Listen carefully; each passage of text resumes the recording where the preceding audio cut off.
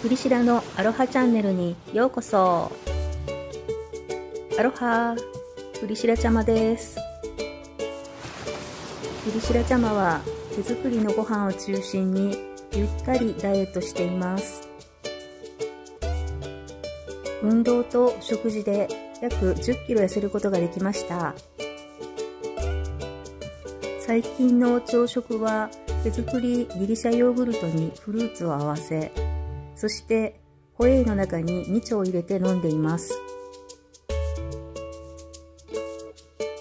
休日のランチ。ゴールデンウィーク中のランチです。ホットクックでジャンバラヤを作りました。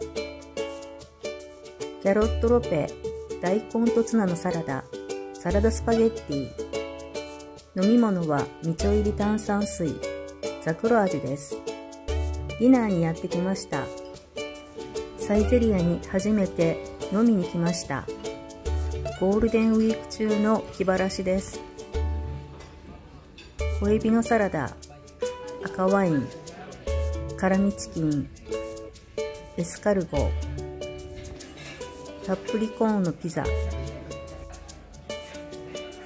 白ワインカチオボンゴレ。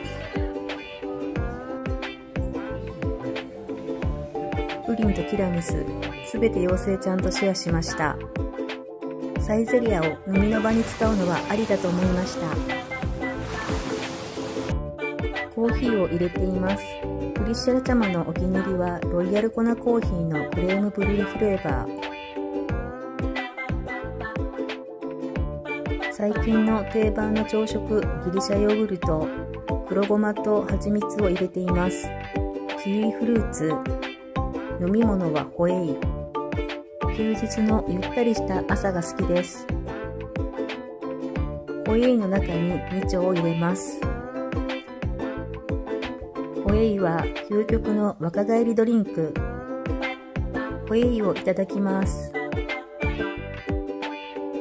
さっぱりとしていてとても美味しいです。コ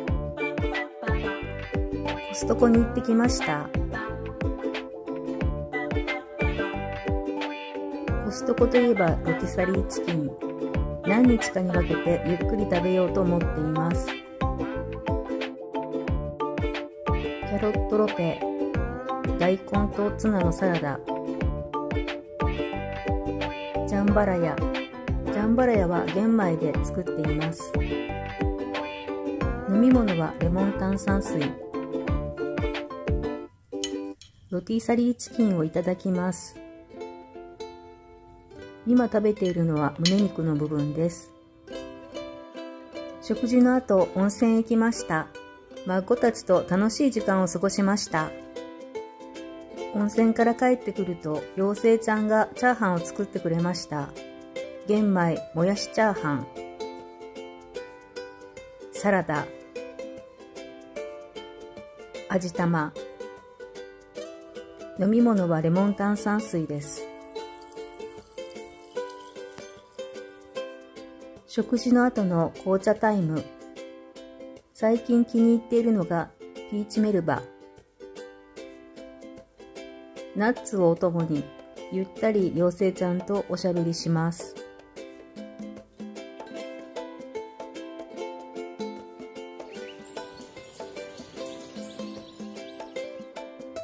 フルーツとヨーグルトの朝食。パイナップル。オイコスストロベリー味。カフェオレ。ゴールデンウィーク中のため外食にやってきました。美味しいパスタのお店です。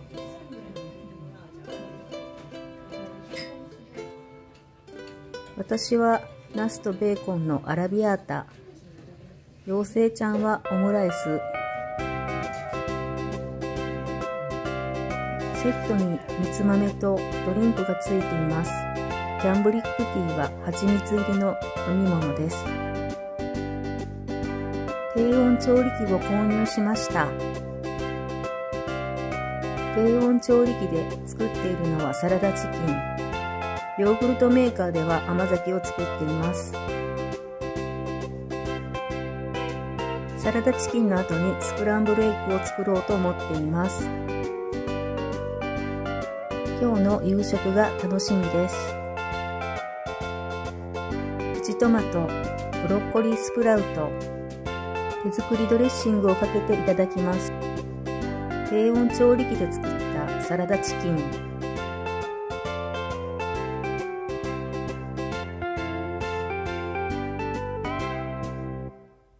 クランブルエッグもしっとり仕上がりました。手作りマヨネーズ。飲み物は炭酸水。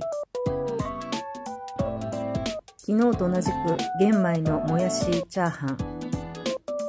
麹甘酒です。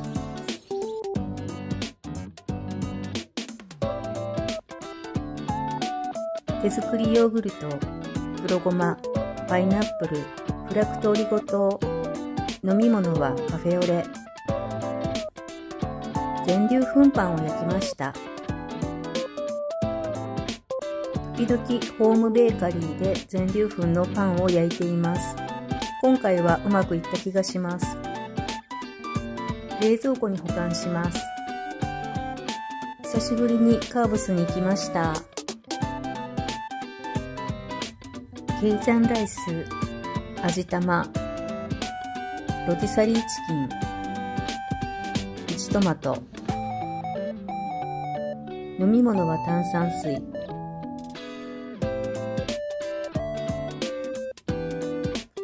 お味噌汁。めかぶロティサリーチキン。ツナと大根のサラダ。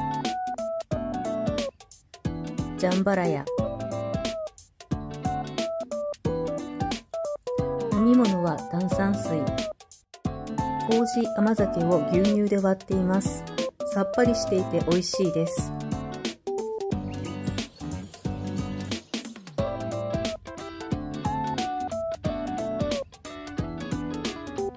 黒ごま、パイナップル、手作りヨーグルト、フラクトオリゴ糖、飲み物はカフェオレ。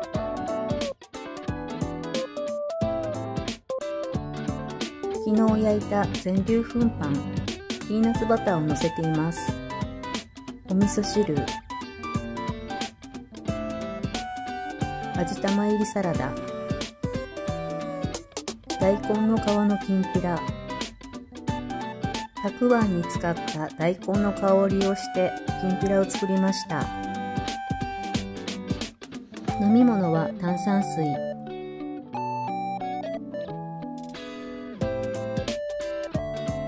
さわらとお豆腐の入ったミニ鍋。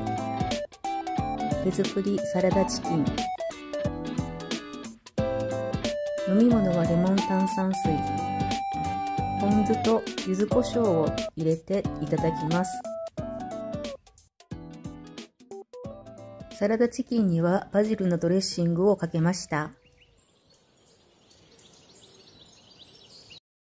朝食をいただきます。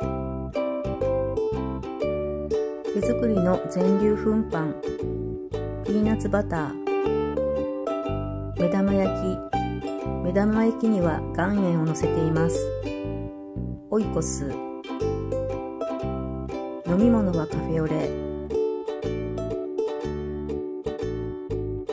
カーブス後のランチです。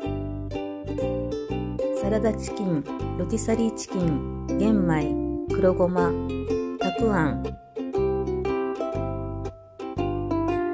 ベビーリーフプチトマト大根の皮のきんぴら。飲み物はレモン炭酸水です。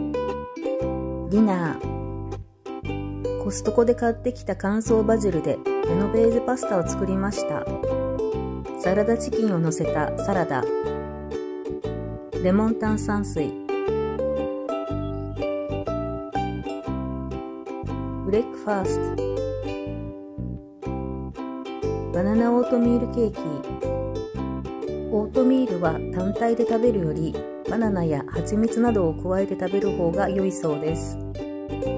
オートミールのみだと糖質が低くなりすぎるそうです。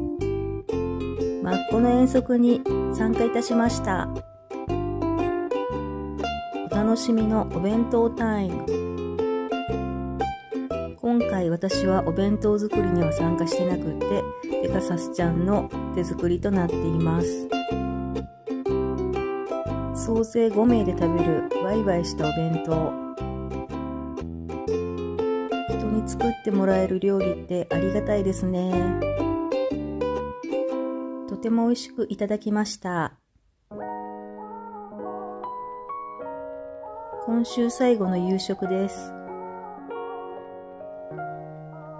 おにぎり、肉団子、ゆで卵、プチトマト、たくあん。飲み物はレモン炭酸水。とても幸せな楽しい一日でした。最後までご覧いただきありがとうございます。マハロー。チャンネル登録、高評価、コメントお待ちしております。